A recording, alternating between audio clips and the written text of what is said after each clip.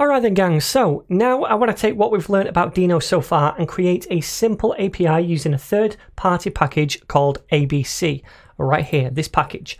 Now, most tutorials about Deno on YouTube at the minute seem to be using the Oak framework, which is pretty cool as well, and that's also a Deno third party module, but I thought I'd use a different one just to break the trend, and I'm using ABC instead, which is also very good in my opinion. So both of these frameworks help us to create Deno apps and APIs, a bit like how Express helped us in Node. Now, you don't have to use them, but it does make setting up a server and handling requests a bit easier. If you are familiar with Express, then this is going to be a breeze for you. If you're not, then feel free to check out my Node crash course where we build an app with Express and then come back. But anyway, let's figure out all this and create an API with ABC. So the first thing we need to do is grab this import right here. So I'm going to copy that. That imports the module and in particular it imports this thing from the module application and that's what we use to set up a new ABC app. So let me go back to our code and I've deleted all of the other files and created a new one called app.ts where we'll create this application code and I'm going to paste in this import at the top. So now we need to create a new app instance by invoking this over here. So let's do this down below. And we store this app instant in a constant. I'm going to call it app. And then I'm going to set it equal to a new application like so. So now we have an instance of an ABC app. Now, the next thing we need to do is start up the server and listen to a port. So let me just do a little comment first of all, listen to port. And the way we start this app up and start the server is by using a method on the app given to us called app.start. And then we can invoke that. We pass in an object where we can specify the port and I'm going to set that to be 3000. So that's it. That's how simple it is to set up this app and also run the server and listen to a port using this method. So now let me come over here and I'm going to cancel out of the previous process and I'm going to say denon and then I'm going to say run and we want to allow network access but also in the future file access as well. So I'm going to say allow hyphen read so we can read files. We'll need that when we're reading HTML files and sending them to the browser. And also I'm going to say allow hyphen net for network access too. And then we want to say app.ts. So press enter to run that and now hopefully we have this server up and running. So it's now essentially listening for requests and if we were to go to localhost over here then we can make that request but we're getting a status code of 404 back and this error message saying not found and that's because we're not actually handling this request yet. Yeah we're setting up this server but we're not handling the request. We're not responding to it. So let's do that. So I'm going to do another comment down here that says routes, and I'm going to set up a route handler. Now the way we do that is we take our app instance and then we can use a method called get on it. Now again, that's very similar to Express. We use get methods on our Express app instances to respond to get requests, and that's what we're going to do here. So we're taking two arguments into this method. The first one is whatever request URL we want to respond to. So for example, just forward slash means I want to respond to just this address right here, just forward slash, and that's the root of the domain.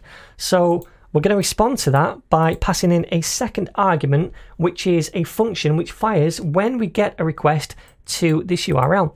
Now, this function is going to be an asynchronous function. So let's say async first of all, and inside here, we can open up our curly braces and then do something. So for example, we could say console.log and request made. Okay, so let's just see if this works so far by saving this. It reruns the server and then back over here, if I refresh, we should see now request made, but we're still not sending a response to the browser. So ideally, I want to send an HTML page to the browser. So I'm going to have to create an HTML page first of all. So let me create a folder called public and eventually all of the files that are going to be made public to the browser will live in here. So things like CSS, maybe HTML pages, and maybe front end JavaScript, that kind of thing. For now, I'm going to create a file called index.html. And inside this file, I'm going to just do a very, very simple HTML document. And the title is going to be index page. And down here, we'll do an H1 that says index page as well. And that's all I'm going to do. Very, very simple. But this is the HTML page I now want to send back to the browser when this callback function is fired, when we make a request to this thing right here, a GET request. Okay, so let's delete that and instead figure out how we can send an HTML page back. Well, First of all, inside this callback function, we get access to a context object. So let me say CTX right here, and this is a special type which is a context type. So if I press enter on that, it's going to automatically import it from ABC for me. So now on this context object, we get access to several different methods that we can use to send responses back to the browser. So I'm going to say down here await because this is an asynchronous task and then I'm going to take that context object and use a method on it called file. Now before I do that notice these are all the different properties and methods we have access to on this context object. Like I said I'll use one called file and this sends a file back to the browser as a response. So all I need to do is pass in here a path to that file. So that's going to be dot forward slash to say the current directory, then into the public folder, and then forward slash index.html. So hopefully this is all quite self-explanatory.